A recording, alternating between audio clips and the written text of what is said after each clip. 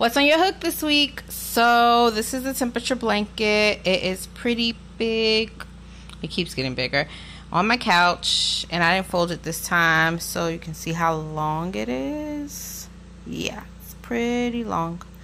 This week I made a dress. It was pretty simple to make um, from the yarn, mandala yarn I got from Joann's on Memorial Day. And then this is a little clutch purse with the two rings I got from Joann's. I just wanted a small little handbag. And then one granny square that I'm making a top, I think, of different types of granny squares. So I just started that one. So that's what's on my hook this week. What is on your hook this week?